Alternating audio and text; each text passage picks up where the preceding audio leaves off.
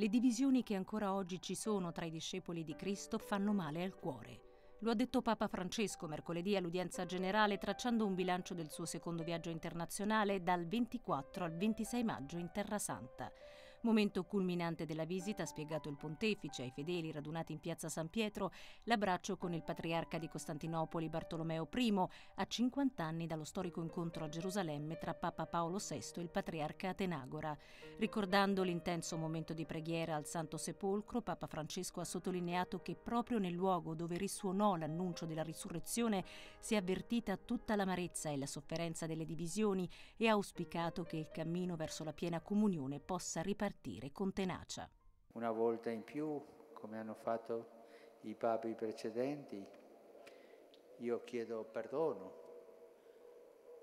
per quello che noi abbiamo fatto per favorire questa divisione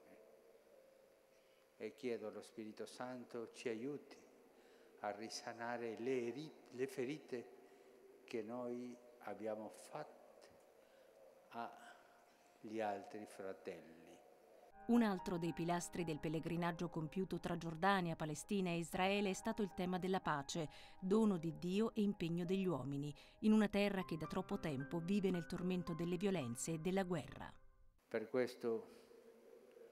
ho esortato i fedeli cristiani a lasciarsi ungere con cuore aperto e docile dallo Spirito Santo per essere sempre più capaci di gesti di umiltà, di fratellanza e di riconciliazione. La pace si fa artigianalmente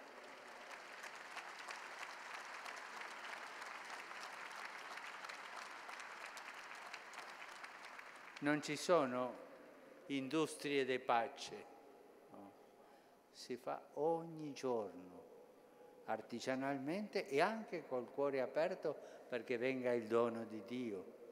Papa Francesco ha poi espresso gratitudine per la generosità della Giordania che ha accolto numerosi profughi provenienti dalle zone di guerra e ha invitato le autorità interessate a proseguire gli sforzi per stemperare le tensioni nell'area medio orientale, soprattutto nella martoriata Siria, come pure a continuare nella ricerca di un'equa soluzione al conflitto israeliano-palestinese. Per questo ho invitato il Presidente di Israele e il Presidente della Palestina uomini ambedue di pace e artefice di pace, a venire in Vaticano a pregare insieme con me per la pace.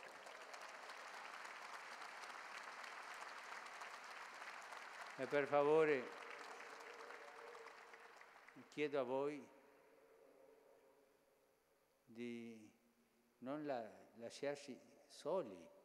Infine il pensiero di Papa Francesco è andato ai cristiani in Terra Santa, coraggiosi testimoni di speranza e di carità che operano in favore della riconciliazione e del perdono, contribuendo al bene comune della società. Con viva gratitudine per questo grande dono per la Chiesa, il pontefice ha sottolineato di aver voluto dare una parola di speranza che poi ha ricevuto a sua volta. L'ho ricevuta dai fratelli e sorelle che sperano contro ogni speranza, ha detto, attraverso tante sofferenze come quelle di chi è fuggito da dal proprio paese a motivo dei conflitti, come quelle di quanti in diverse parti del mondo sono discriminati e disprezzati a causa della loro fede in Cristo.